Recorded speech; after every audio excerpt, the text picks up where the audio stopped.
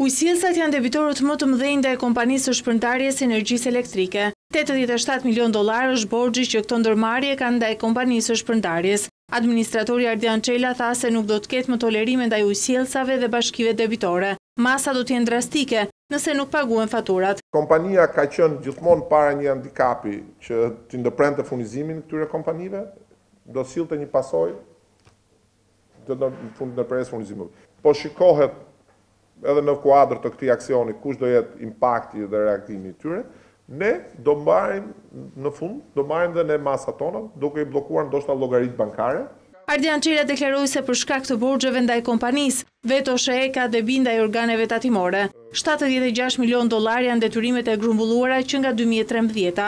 Ndërkohë kreu i kompanisë së shpërndarjes, sqaroi dhe çështjen e formularit për regjistrimin e të dhënave dhe adresës së çdo abonenti. Qëllimi ynë nuk është ndërprerja e furnizimit me energji elektrike, por ama në qoftë se ne duhet, qëllimi ynë është ofrimi i shërbimit sa më cilësor. Këtë informacion ne e mbledhim për të bërë këtë database-in tonë, kur t'i bëjmë atë leximin final një herë në tre muaj, në muaj ne do bëjmë atë faturimin mujor që i del nga ky gjithë informacioni që ne po mbledhim, nga konsumi që ne krijojmë për çdo klient. Gjatë analizës së punës së OSHEE-së, administratori i kompanisë tha se niveli i humbjeve në rrjet është ulur në njëzet e gjashtë pikë katër përqind.